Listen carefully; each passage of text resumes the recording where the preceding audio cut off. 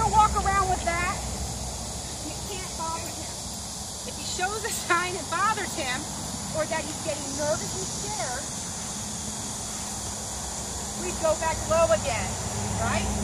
Nice and low, letting him win. Wow, this is fantastic.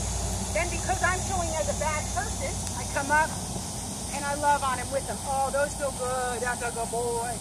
That's a good boy. So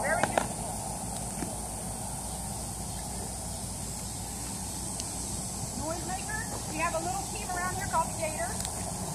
They don't get much of a crowd. so when we're there, gotta get used to noise.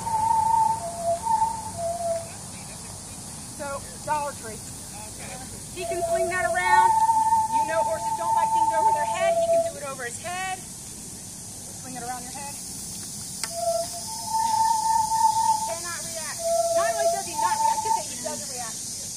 It's no big deal. Okay, that's not going to hurt me.